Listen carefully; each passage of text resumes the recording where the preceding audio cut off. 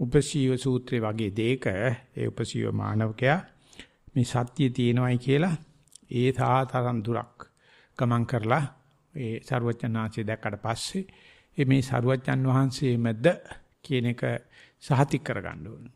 ඒකට වෙන මොකක්වත්ම ක්‍රමයක් නැහැ. Tamange ආબોධය විතරයි තියෙන්නේ. ඒ ਸਰුවචනාංශය කියලා විශේෂ මොනම ලකුණක්වත් අපි බලාපොරොත්තු වෙන දේවල් බාහිර ස්වරූපේ නැහැ. ඒ නිසා ගුරුනාංශ කියනවා ගිහිල්ලා ප්‍රශ්නයක් හිතනද එතකොට ඒකට ප්‍රශ්නේ තේරුම් අරගෙන උත්තරයක් දෙයි නම් එයා එතකොට දන්නවා මේ යමක් කමක් තේරෙන කෙනෙක් කියලා. දැන් කාලේ තියෙන්නේ අහවලාමද කියලා දැනගන්න ඩෙන්ටි කාඩ් එක චෙක් කරනවා. પાස්පෝර්ට් එක චෙක් කරනවා. ජාන පරීක්ෂා කරනවා. ඉතින් මේ කිසිම දෙයකින් කවදාකවත් බෑ පුද්ගලයාගේ අනන්‍යතාවය හොයන්න. අද තියෙන මහා අම්මන අසම්පූර්ණ ක්‍රම රාශිය. ඒ අනුව තමයි මේ තියෙන පද්ධතිය හැදිලා තියෙන්නේ. නමුත් මේ උපසියෝ මානවකයා එහෙම කරන්නේ මේ මැනිය හැකි ක්‍රමයකින් නෙවෙයි. Taman අහන ප්‍රශ්නේ මේ උත්තරමනාන්තයට තේරෙනවද? එතකොට ඒ උත්තරමනාන්තේ ඒකටම උත්තර දෙනවද කියන එක බුදුරජාණන් වහන්සේ නෙවෙයි විනිශ්චය කරන්නේ උපසියෝ මානවකයා. ඉතින් එයා ඒ අහපු ප්‍රශ්නෙට බුදුරජාණන් වහන්සේ දෙන උත්තරේ අනුව උපසියෝ මානවකයා ඒක ප්‍රති උච්චාරණය කරනවා. ස්වාමීන් වහන්සේ මේකද කිව්වේ ඒ අනුව මම මේ තින්දන් කම්මන් කරලා තියෙනවා. මට මෙන්න මෙහෙමයි තේරෙන්නේ කියලා ඒක බුදුජානක වහන්සේට තේරෙනවා මේ මනසට දීපු උත්තරය දිරවගෙන එයා ඒ කතා කරන්නේ එයාගේ අත්දැකීමෙන් කතා කරන්නේ. ඉතින් ඒක අද ලෝකේ ඇත්තෙම නැහැ. අද අපි කතා කරන්නේ කවුගේ හරි අත්දැකීමක්. නැත්තම් අරයා මෙහෙම කිව්වලු. එහෙම නැත්තම් අහ කියන කෙනා අහගෙන ඉන්නේ නැහැ. කියන කෙනා මොනවද කියන්නේ කියලා අහගෙන ඉන්න බුදිය ගන්නවා. ඊට පස්සේ වෙන මොනවදෝ කියනවා. ඉතින් එතකොට තියෙන්නේ එතන sannivedana ප්‍රශ්නයක් තියෙන්නේ. අද අපි ඉන්නේ ඇත්තටම IT ටෙක්නොලොජි තියෙන යුගයේ කියන්නේ sannivedana යුගයක ඉන්නේ. මෙච්චර අවුල් වෙච්ච යුගයක් මුළු මානව ඉතිහාසෙම නැහැ. මොකද මේ මුළු sannivedaname යොදවන තියෙන්නේ කාමෙට. ඒකට ගන්න කට්ටිය කිදිරලා තියෙනවා. ඉතින් අපිට වෙලා තියෙන්නේ අද දෙමව්පියෝ කියන දේ දරුවන්ට කොහොමඩක්වත් තේරෙන්නේ නැහැ. දරුවෝ පුළුවන් තරම් උත්සාහ කරන දෙමව්පියන්ට කියන්නේ දෙමව්පියන්ට අහන්න වෙලාවක් නැහැ. ඒ වගේම ලෙඩ්ඩු සල්ලි ගෙවලා දොස්තර ගාවට යනවා කියන්නේ. දොස්තර ටික අහන්න වෙලාවක් නැහැ. දොස්තර ටෙක්නීෂියන් දාලා කියනවා උණ තියනවද කියලා බලපන්. ලේවල කොච්චර හීමොග්ලෝබින් තියනවද කියලා බලපන්. එහෙනම් මූත්‍රා ටික කරන් බලපන් කියලා අරු යවනවා පොලිමේ. ඒ ආපු උත්තරේට ටෙක්නීෂියන් කතා කරනවා මිසක ලෙඩත් එක එහෙම ගනුදෙනුවක් අද නැහැ. රාජ්‍ය නායකින්ද රටවැසියෝ හම්බෙන්න වෙලාවක් නැහැ. ඉස්සර රජුරු ළඟට ගිහිල්ලා තමයි මාවැලි බිලින්දා වරවර ළඟට ගැන්දා දුක්සප කුමන්දා අසන නිරිඳෝ වෙන කොයින්දා. ඒ පොඩි කාට පවා දෙන මේ රජුරු කෙනෙක් ඇවිල්ලා මයින් ප්‍රශ්නයක් අහනවා ඒකද ලොකු ජයග්‍රහණ කියලා. ඒ වගේම තමයි අපි වම් ඔළුවේ වම් පැත්ත කියන දේ අහන්න දකුණු පැත්තට වෙලාවක් නැහැ. බුදුම දිවිල්ලක් දුවන්නේ. ඉතින් අපි දන්නෙත් නැහැ එහෙම මොලේ ඇතුලේ මෙහෙම දෙපැත්තක් තියෙනවා කියලා. අපි හිතන්නේ මේ එක එක කෙනෙක් අපේ ඔළුවට ඌණියම් කරලා ඕල්මන් කරවලා එක එක දේවල් හිතෙනවා. ඒක මමයා මේක මමයා කිය හිටියට කොයි එක කොයි එකද කියලා දන්නේ. ඉතින් එතනදී ਸਰවචනාන්තයට සිද්ධ වෙනවා. ඒ ඒ sannivedane නැත්නම් sannivedane ඇති කරන්න. ඉතින් ඒක උගක් උත්සාහ කරන්න ඕනේ. ඒක ඊතරම කියන එක හිතන තරම් ලේසිත් නෑ. මේ උදාහරණයක් වදිහට ගිහිල්ලා මම බුරුමේ ගිහිල්ලා මාස 18ක්ම වෙනුම් ඇව්වා. හැමදාම කමටහන් සුද්ධ කරනවා යනවා යන්න කියලා ලෝගන්න. මොකද අපි කියන කමටහන් නෙවෙයි වැඩලා තියෙන්නේ. මේ කතා කරන්නේ ආනාපානේ අපි කියන්නේ බිම්බිම හැකිලින් බලන්න කියලා. ඉතින් මම ආයෙසරයක් ගිහිල්ලා දෙන්නේ ඒකම තමයි. ඉතින් මාස 18ක් බැනුම් අහනකොට තමයි මේ කවුද පණ්ඩිස්වාංශ කියලා තේරුම් ගන්න පුළුවන් වෙන්නේ. එහෙම නැතුව මේ ගිය ගමන්ම මට යනකොට ගුත්ත සීලාම්ත්‍ර කතාවලික උඹ අඬන්න කැමති නම් ඵලයන් පුරුමේ. ওই කෙනත් එක විහිළු බෑ. තැනක ඉස්සරහමයි කියන එක කියන්නේ. මං කෝ ප්‍රශ්නයක් නැහැ අපිට අවශ්‍ය දේ ඕන නම් අඬලා නෙවෙයි කලු කවුතු දීලා හරි ගමන්නේ වැඩි කරගන්න එපා. ඉතින් ඒ sannivedanaya කරන්න ගියාම ඉතින් සෑහෙන ඇඟට අමාරුයි. අපි හිතන විදිහට කොල්ලෙක් කෙල්ලෙක් ලව් කරනවා වගේ කතාවක් නෙවෙයි මෙතන තියෙන්නේ.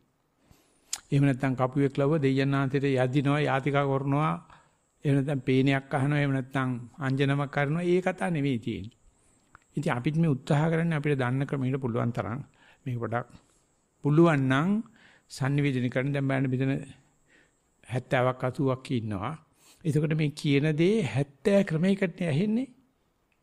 ඔක්කොම හිතනවා නෑ නෑ මේ රෙකෝඩ් වෙන ක්‍රමයට තමයි ඇහෙන්නේ කියලා පිස්සු. එහෙම ඇහෙන්නේ නැහැ. ඇහෙන්නේ Tamanට අහන්න ඕනේ ක්‍රමයට. ඉතින් ඒකල කියනවා අර එහෙම කිව්වා මෙහෙම කිව්වයි කියලා. ඉතින් එතකොට ආයෙත් රෙකෝඩ් එක දාලා පෙන්නන්න වෙනවා. මම කිව්වේ මේකයි. වට ඇහිලා තියෙන්නේ මේකයි. අපි ඒක හගිස්සගෙන ඊට පස්සේ කතා කරමු.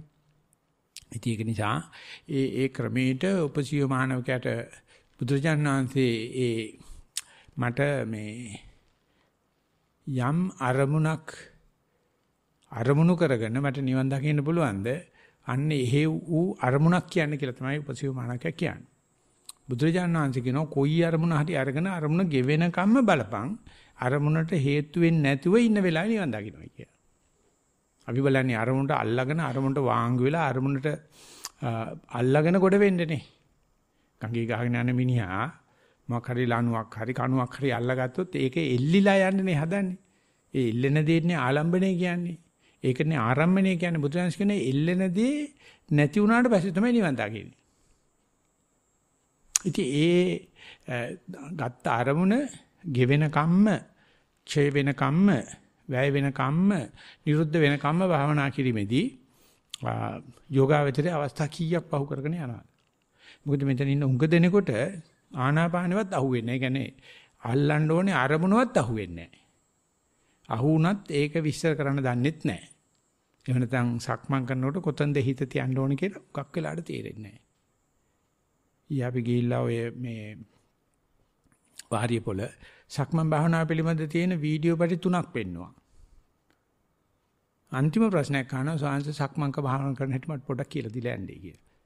ඉතින් මම මේ වීඩියෝ පැටිය දැක්කද? ඒකෙන් තේරෙන්නේ නැද්ද? නැත්නම් ආවේ එව්ව පෙන්නුවාට පස්සේද? ඇයි මේ ආයෙත් ඒ ඒ කියූපේකම අහන්නේ? නිකන් අර දෙන හින්දාද? නැත්තර මේ මිනිස්සයා මේ විහිළුවක් නෙවෙයි කරන්නේ. ඉතින් මම කෝ කරුණාකරලා සංවිධානය කරන කෙනකින් අහගන්න ඒ සක්මන පිළිබඳ උපදෙස් දෙනවා. ඒක පොඩ්ඩක් අහගන්න.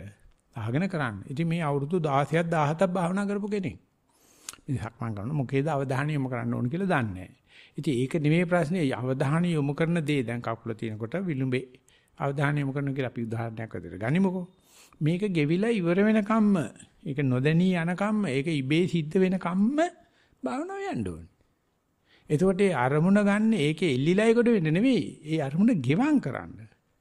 අරමුණ ක්ෂය කරන්න. ඉතින් ඒකට නිරෝධ කියන වචන තමයි බුදුරජාණන්සේ පාවිච්චි කරේ. ඉතින් නිරෝධ සත්‍ය කියලා එකක් තියෙනවා. තුන්වෙනි ආර්ය සත්‍ය. එතන තමයි දුක්ඛ සත්‍යයි, සමුදය සත්‍යයි නිරුද්ධ වෙන තැන. තමයි භාවනා කරන අරමුණ දැක දැක දැන දැන givi givi යන්න ඕනේ. ඒක මම උදාහරණයකට කිව්වේ කිසాగෝතමින තමන්ගේ දරුවා අත් දෙකේ මැරෙන හැටි. තමන් කුසින් වදාගත්ත දරුවා ඒ අත් දෙකේ මැරෙන කම්ම බලන් ඉන්න ඕනේ. ඉතින් කාඩ් දාප්ප පුළුවන්නේ. තමන් කුසින් වදාගත්ත දරුවා මේ අත් දෙකේ තියාගෙන ඒ මැරෙන හැටි බලාගෙන ඉන්න. අම්මා කෙනෙකුට කරන්න බෑනේ. ඒ මගේ යාළුවෙක් කියනවා මේ මාරවිල එයා කියනවා මේ තාත්තා මේ ළමයා මැරිලා මිනි පෙට්ටිය අත් දෙකේලු ගෙනියන්නේ තරම් පුංචි බබෙක්. මිනි පෙට්ටිය අත් දෙකේ යනක හොඳට බීලලු. ඉතින් මා යාළුවෙකුට කියනවලු පුංචි පිටේ හිටියේ අවමංගල්‍ය පෙරහැරේ. මචං ආපු ලෙඩේ හැටියට මැරිලා බේරුණා ලොකු දෙයක් කිව්වා. ඊට බරපතල ලෙඩක් ඇවිල්ලා තියෙන්නේ. මචං ආපු ලෙඩේ මැරිලා බේරලා ඇති කියලා කිව්වල හොඳට බීලා. අපි ඉන්නේ එතන තමයි. මේ අපිට එන ලෙඩ හැටියට මැරිලා බේරෙන එක ලොකු දෙයක්. ඒ තරම් ප්‍රශ්න තියෙනවා. ඉතින් ඒකෙදි මේ අල්ලන අරමුණ ගෙවෙනකම්ම බලන්න ඕන කියන එක තේරුම් ගන්න මට කොච්චර කල් ගියාද? අපි හිතන්නේ මේ අරමුණ මේ සටහන් බලන්න ඕනේ, ආකාර බලන්න ඕනේ, ස්වභාව ලක්ෂණ බලන්න ඕනේ, බල බල බල බල ඉතින් යනවා. ඒ කවුරුත් කියන්නේ ඔය අරමුණ ගෙවෙනකම් බලපන් කියලා යන්නෙත් නැහැ. මොකද ඒකට යා ඉක්මනට ඇවිල්ලා කියන අරමුණ ගෙවුණයි කියලා. බ්‍රේන් වොෂ් වෙනවා. නේ යටි කටහඬින්ම ගන්න ඕනේ. මං ආනපානේ බැලුවා මට හම්බුණා. ඒක හරි ගොරෝසුයි. ටික වෙලා කරනකොට ඒක සියුම් වුණා. ඊට පස්සේ ඒක තවත් සියුම් වෙගෙන යනකොට මට සිනිති මතක් ආවා, කැස්සක් ආවා, ලෙඩක් ආවා, වැස්සක් ආවා නැත්නම් හිතවිල්ලක් ආවා. එහෙම නැත්නම් වේදනා. ඉතින් ඒ කතන්දරේ ඔච්චරයි කවුරු කමටහන් සුද්ධ කරන්නේ. ඒ කියන්නේ හොඳටම කමටහන් සුද්ධ වෙන එක නායි.